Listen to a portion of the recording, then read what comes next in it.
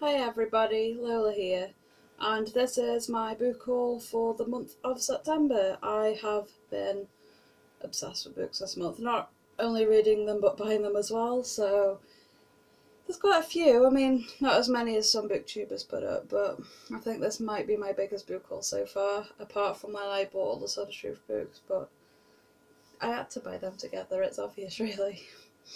Anyway, let's get to it. Um, now the first two I've already read, so let's get straight into it. I have read my first manga. I've never read a manga before and I really enjoyed it, and that is Death Note. And obviously, you know, look at all the art in there, it's actually really nice. It starts off with colour, because it's in the demon world, and then the rest of the book's in black and white, because it's in the human world, or most part of it is. That wasn't a good example, but oh well. Um, but yeah, I really did enjoy it, and I do want to read the other Death Notes, uh, Death Note books. And I got to the end, I didn't even realise I was at the end of Volume 2.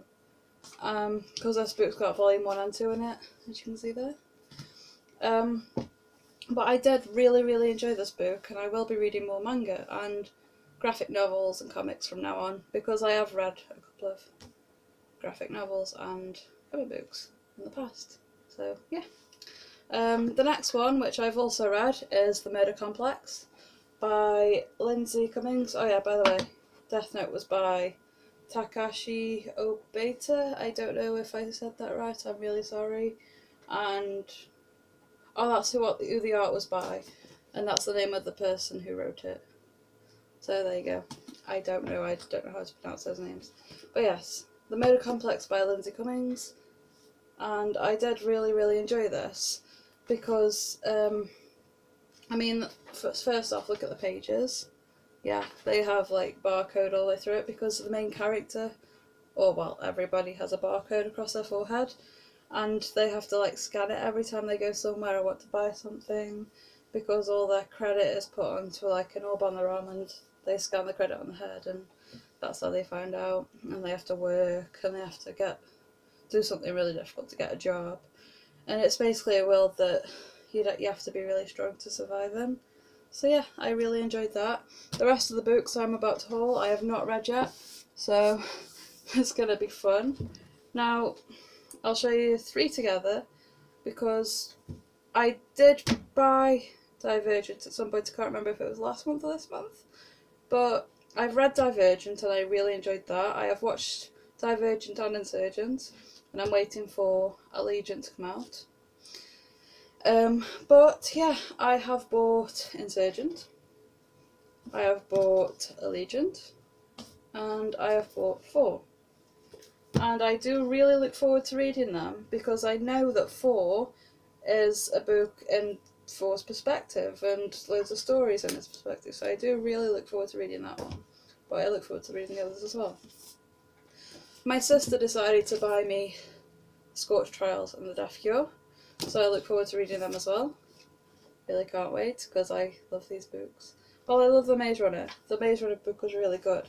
And I've heard a lot of people saying that they enjoy the movie more, but I don't get that because I actually enjoy the books more, as always. That's a very rare thing for people to say, especially my sister, because she said she liked the movie more as well, which I don't know. I like the books.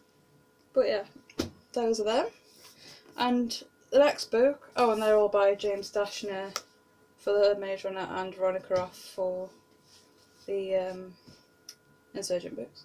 Um, yeah, the next book uh, I bought was Snow Like Ashes by Sarah Rask, Rash, something like that. Anyway, and I like the sound of this book because I know that they go into like a different place and something about Scotland and somebody having to save a world that they've not known before. And that sounds like the kind of book I'd like, so. Plus, it's set in Scotland, you know, that's just north of where I, you know, not just north, but very north of where I live. I'm in the UK, so yeah, I look forward to reading that. I've never actually been to Scotland, I would like to. Um, the next one, it's very, well, I assume it's a very kiddie book, but I don't care still quite big, even though it's got big words in it. And that is The Isle of the Lost by Melissa de la Cruz. I don't know if I said that right. I'm British, so I don't know if it's an accent or. Anyway, Isle of the Lost. Um, I've heard this might be, be made into a movie, but I've not read it yet, and I look forward to reading it. I do like my fairy tales, and this is about the villains, so that should be really interesting because I'm very into villains. I like, I do like villains, and I do like to see stories about them rather than the good character.